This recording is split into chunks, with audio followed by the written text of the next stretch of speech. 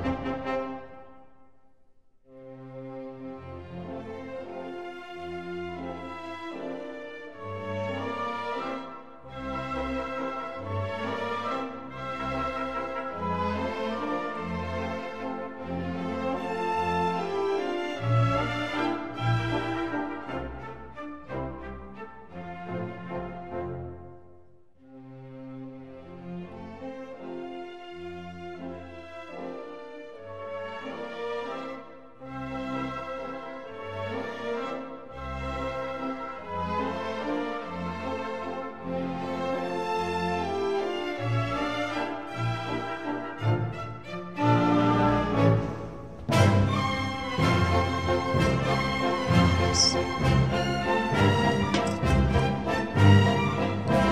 No, it bubbled!